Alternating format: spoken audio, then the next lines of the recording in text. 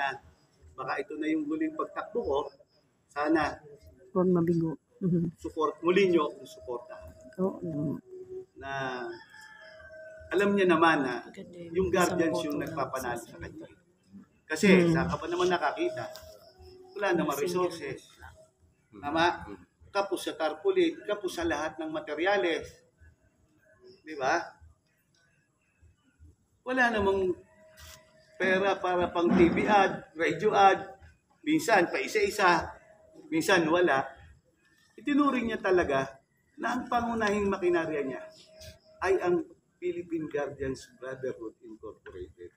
Yung 130,000 nating kasapi ngayon, yun yung inaasahan. dami, no? Wala Kaya nakikiusap uli ako sa inyo gan sa pa- pinapaabot ni GS at lalo na na Bicolano rin naman si GS eh, di ba? Yes. Dapat makamit din naman ni GS yung Bicolano votes. Tama? Tama po. Ah, sabihan ng mga kamag-anak natin, kapamilya natin, kapitbahay, ipalaga natin na ang Bicol, Bicol, walang iwanan.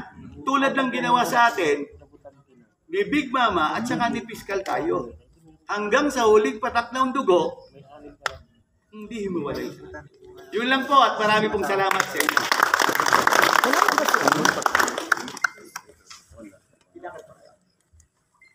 Wala ba si, ano si